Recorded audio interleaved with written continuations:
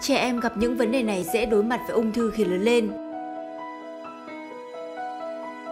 Một nghiên cứu được công bố trên tờ Annals of Human Biology cho thấy những người từng béo phì khi còn trẻ sẽ có nguy cơ phát triển ung thư bàng quang cao hơn bình thường.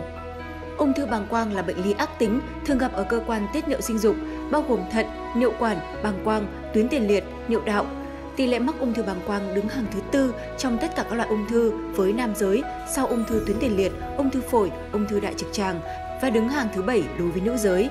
Tỷ lệ mắc bệnh ở nam giới cao gấp 3 lần ở nữ. Sau khi phân tích các dữ liệu thu thập được, nhóm tác giả đã rút ra được những kết luận sau.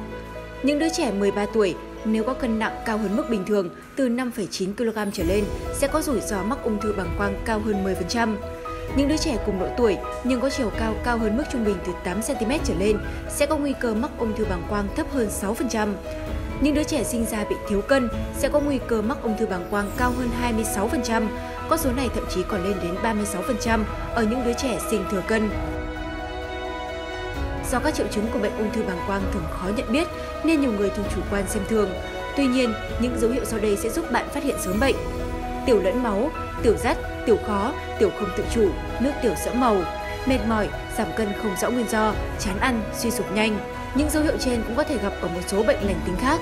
Vì thế, bạn cần đi khám để được chẩn đoán chính xác, đồng thời chú ý đến chế độ dinh dưỡng cho trẻ để phòng tránh các nguy cơ mắc bệnh khi trẻ lớn lên.